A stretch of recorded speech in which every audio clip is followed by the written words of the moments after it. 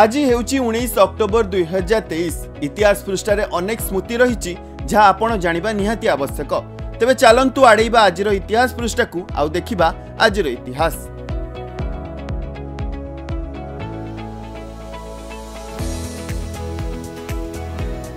ପ୍ରତିବର୍ଷ ଅକ୍ଟୋବର ଉଣେଇଶକୁ evaluate your life day ଭାବରେ ପାଳନ କରାଯାଏ।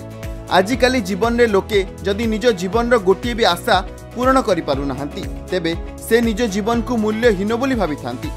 କିନ୍ତୁ ଆଜିର ଦିନରେ ଆମେ ଜୀବନର ଉନ୍ନତିର ଆଶା ନେଇ ଆଗକୁ ବଢ଼ିବା।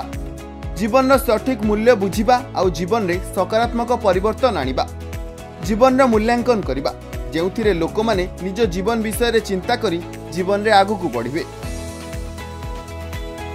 ପ୍ରଥମ ବିଶ୍ୱଯୁଦ୍ଧ ସମୟରେ ଆମେରିକାର ବାୟୁସେନା ସେବା ପାଇଁ ଟ୍ରେନିଂ ବେସ୍ ଭାବରେ ଉଣେଇଶହ ସତର ଅକ୍ଟୋବର ଉଣେଇଶରେ ଡାଲାସ ଲଭ୍ ଫିଲ୍ଡକୁ ଦାୟିତ୍ୱ ଦିଆଯାଇଥିଲା ସେହିଭଳି ପ୍ରତିବର୍ଷ ଅକ୍ଟୋବର ଉଣେଇଶକୁ ନ୍ୟାସନାଲ ନ୍ୟୁ ଫ୍ରେଣ୍ଡସ୍ ଡେ ଭାବରେ ପାଳନ କରାଯାଏ। କୁହାଯାଏ ବିପଦ ବେଳେ ଯିଏ ପାଖରେ ସାହସ ଦିଏ ସେ ହେଉଛି ପ୍ରକୃତ ବନ୍ଧୁ। ଜୀବନର ପ୍ରତି ମୋଡ଼ରେ ନୂଆ ନୂଆ ସାଙ୍ଗ ମିଳନ୍ତି। ଆଉ ଆଜି ଏହି ଦିନରେ ଆମେ ପୁରୁଣା ସାଙ୍ଗଙ୍କ ବ୍ୟତୀତ ନୂଆ ସାଙ୍ଗ ମଧ୍ୟ ବନାଇବା।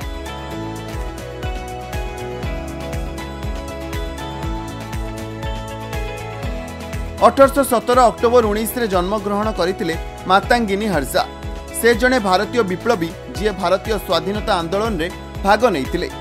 ସେ ସର୍ବଦା ଦେଶକୁ ସ୍ୱାଧୀନତା ଦେବା ପାଇଁ ଚେଷ୍ଟା କରୁଥିଲେ ଏବଂ ତାଙ୍କୁ ପୋଲିସ ବହୁବାର ଗିରଫ ମଧ୍ୟ କରିଛି। ଜେଲରୁ ମୁକୁଳି ଆସିବା ପରେ ମଧ୍ୟ ସେ ସମାଜ ପାଇଁ କାମ କରିଛନ୍ତି। ଭାରତ ଛାଡ଼ ଆନ୍ଦୋଳନର ଏକ ଅଂଶ ଭାବରେ ସେ ପ୍ରମୁଖ ଭୂମିକା ଗ୍ରହଣ କରିଛନ୍ତି।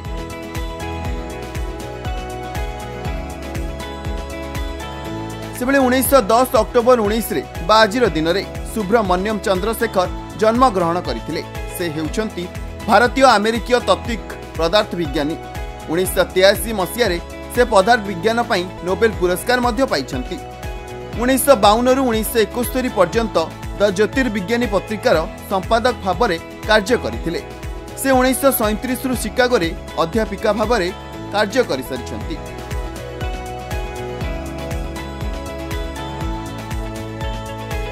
ଦୁଇହଜାର ଏଗାର ଅକ୍ଟୋବର ଉଣେଇଶରେ ମୃତ୍ୟୁବରଣ କରିଥିଲେ ଜର୍ଜ ଭର୍ଗେ କାକାନାଦାନ ସେ ମାଲୟାଲମ ଭାଷାରେ ଜଣେ ଭାରତୀୟ କ୍ଷୁଦ୍ର ଗଳ୍ପ ଲେଖକ ତଥା ଉପନ୍ୟାସକ ଥିଲେ।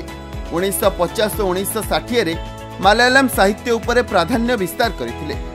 ମାଲୟାଲମ ସାହିତ୍ୟରେ ଆଧୁନିକତାର ମୂଳଦୁଆକୁ ଦୃଢ଼ କରିବାରେ ତାଙ୍କର ଭୂମିକା ବେଶ୍ ଗୁରୁତ୍ୱପୂର୍ଣ୍ଣ। ତାଙ୍କୁ କେନ୍ଦ୍ର ସାହିତ୍ୟ ଏକାଡେମୀ ପୁରସ୍କାର ଏବଂ କେରଳ ସାହିତ୍ୟ ଏକାଡେମୀ ପୁରସ୍କାରରେ ପୁରସ୍କୃତ କରାଯାଇଥିଲା। ବ୍ୟୁରୋ ରିପୋର୍ଟ ଖବର ଓଡ଼ିଶା।